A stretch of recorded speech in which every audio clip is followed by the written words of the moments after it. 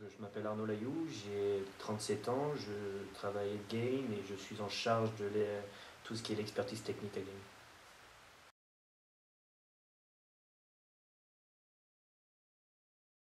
La formation que j'ai suivie, donc j'ai suivi une formation typique française, donc j'ai fait l'université à Montpellier, j'ai fait une fac de biologie. À l'arrivée à la licence de biologie, il a fallu que je cherche ce que je veux faire. C'est souvent le, moment où il faut choisir sa voie. Et donc j'ai décidé de travailler dans la nutrition. Et donc j'ai fait un master de nutrition à la faculté de Montpellier. Et actuellement, je suis en train de faire ma, thèse sur, la nutrition actuellement aussi, à Montpellier également.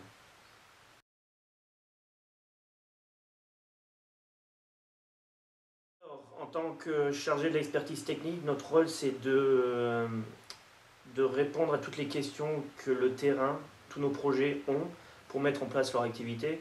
Donc nous, à Gain, on travaille sur tout ce qui est enrichissement des aliments. Donc c'est mettre en place des projets, aider sur tout ce qui est les standards techniques pour l'enrichissement, aider les entreprises à mettre en place leurs usines pour mettre cet enrichissement en place. Donc c'est tout ce qui est expertise technique.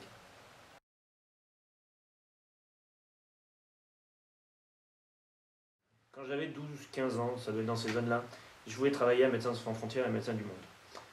J'ai donc fait des études de médecine que j'ai loupées.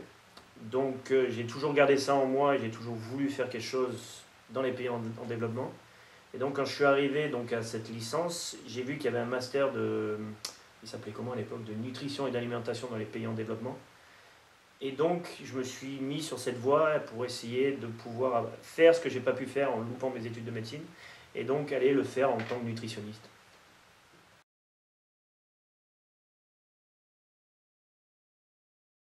Il faut aimer voyager, il faut aimer apprendre à connaître les autres, il faut aimer... Qu'est-ce qu'il faut aimer il faut, aimer vivre avec d'autres cultures. Et après, il faut de l'acharnement, parce que souvent, vous travaillez, dans mon cas, on travaille avec des gouvernements. Et donc, c'est des longs processus, tout n'arrive pas immédiatement. Donc, il faut de la ténacité et il faut aimer ce qu'on fait.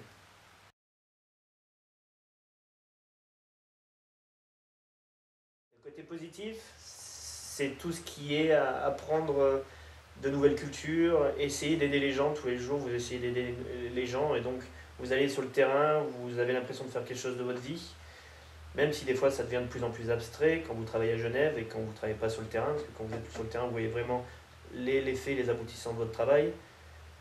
Le côté négatif, c'est des fois que vous trouvez que c'est trop long les, les, les résultats. Euh, quand vous avez 20 ans, vous êtes idéaliste, vous voulez faire avancer les choses beaucoup plus rapidement. Et malheureusement, quand vous arrivez et que vous travaillez depuis des années, vous apercevez que c'est pas aussi rapide que ça. Et donc ça, c'est le côté négatif, c'est des fois vous, vous perdez de la motivation. Et donc, euh, c'est ça le côté négatif. Mais sinon, quand vous faites ce que vous aimez, il y a plus de côté positif que de côté négatif. Dès que vous avez trouvé votre voie, après, c'est beaucoup plus simple.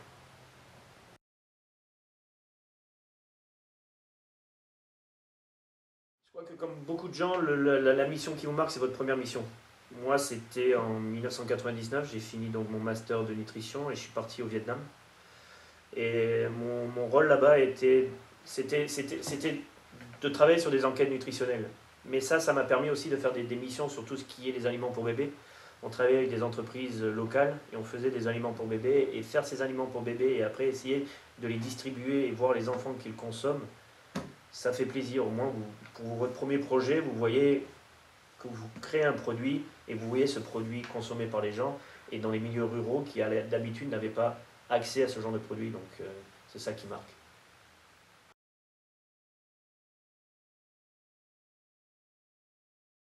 Euh, c'est une ville où, toutes les, où il y a beaucoup d'organismes internationaux et donc c'est beaucoup plus simple des fois de travailler et d'avoir des réunions. Quand vous, parlez de santé ou de nutrition, c'est là où souvent des, décisions se prennent. Vous avez, c'est un concentré de beaucoup d'organisations internationales. C'est proche, mais aussi à la fois très éloigné du terrain. C'est ici beaucoup plus ce qu'on appelle de l'advocacy et de tout ce qui est politique de nutrition. Et c'est ce qui permet ensuite d'avoir les guidelines pour travailler après sur le terrain.